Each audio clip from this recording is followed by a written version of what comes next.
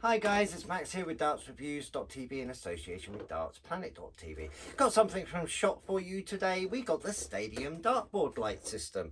This looks really, really good. It's something a bit different. It's not a big circle that goes around the dartboard. You can sort of like place them about everywhere. Um, quite interesting. It'd be nice to see how bright they are, how easy it is to all to put together. But uh, what we'll do is we'll go and head over and have a closer look. Okay, so we're in our amazing dart room we're going to unbox the Shot Stadium lighting system. Looks really, really good on the front. Got a little bit of information saying about how it uh, gives you a minimal shadow, fully adjustable. Even comes with a dimmer, so if you don't want it as bright, especially if you're playing overnight and family around, you can always dim it down supposed to be really easy to install so we'll see that when we put it up on the board. And it's got 48 total 6100k LEDs so it should be really really bright. And as you know 6100k is that really bright white that we love on um, lighting systems because gets rid of all the shadows and makes it nice and vibrant. Over on the back, you've got some information. It shows you what's in the box, the actual lights, shows you what it looks like up on the dartboard, and obviously some information about each section. But what we'll do is we'll get it out and have a closer look before we put it up. Okay, in the box you get your information for fitting it up onto your dartboard. Obviously your four lights, your power brick and obviously your cables and your brackets. What's really, really nice, what Shot have done, they've even put these little foam wedges in so you can level out your dartboard. That's a nice little touch that.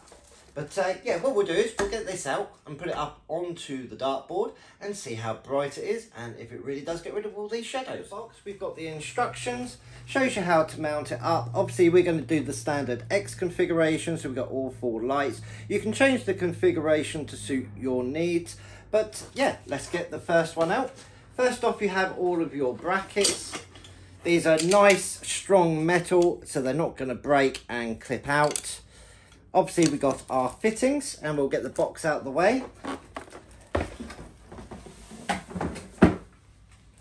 It says in the instructions to mark it and put the brackets where the little grip is for the number ring. We've already piloted the holes just to make it a little bit easier. Um, you could use a hammer to tap in the screws, but Yep, let's get one on. It's really nice that these are already curved, so they fit really nicely on the edge. Let's get a screw in.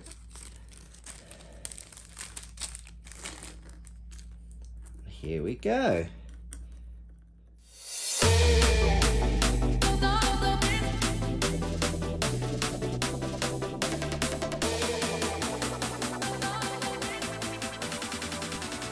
Okay, so we got all four brackets in. The other thing we need to do is we need to mount the wire ready on the back. So we're going to just check to see where the 20 is. The 20 is there. So I'm going to put it away from me. Then we need the wiring harness. Get this undone. Best place to mount it is in between the bullseye and the bottom of the board. I'm going to make life a little bit easier because I'm going to be moving it up and I'm just going to tape it in place.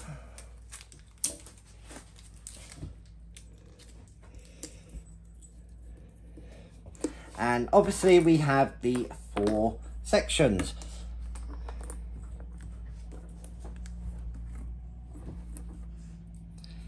And now what we're going to do, we're going to get it mounted up onto the wall and then we'll get the lights connected. Okay, so we put it up onto the wall. I put a nice surround on and I fed the cables through so they're out of the way. And as you see, when you put the cables up, there are two slightly shorter and two slightly longer. Make sure the long ones are at the top and the shorter at the bottom, then they're all going to be the right length. So we're going to put one of the lights up. We'll start down here by the 15. Literally just slots into the bracket. And then on the back of the bracket, there's a little clip which you can fit the cable in to keep it out of the way and then plug it in and you can always pull the cable nice and tight so it's out of the way and tuck it in behind. There we go, so there's the first one. I'm going to get the other three up now.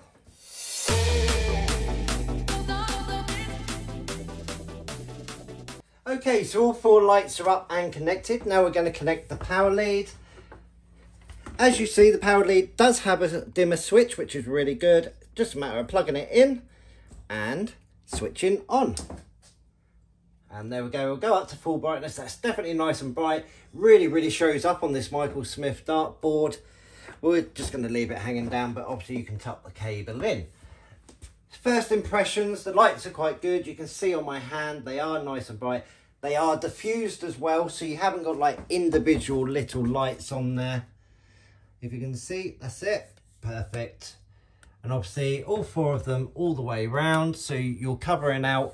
And as you see, I can hold my hand there and there's not any shadow around it. So it's blocking out all of the shadows from around the board.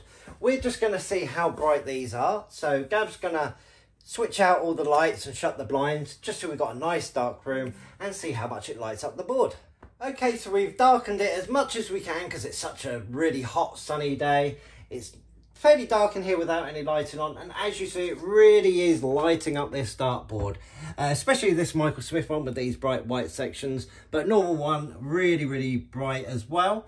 What we're going to do is we're going to put a dart in a couple of different areas so obviously the treble as you see no shadows sticking around that dart as well so gives you the perfect opportunity. We'll try the bullseye. Yep definitely no shadows and treble 19 definitely not and just on the edge. We put it there. Um i've noticed a ever so slight shadow just because it's closer to this light but that's not going to distract you at all. And yeah it's definitely doing its job lighting up the dartboard really really well. So the lights themselves a little bit harder to put on than just a standard sort of ring but yeah with the brackets the cabling and the fact that the lights are diffused I think it's a really really good system and we'll go and have a final thought. Okay, so we had a look at these.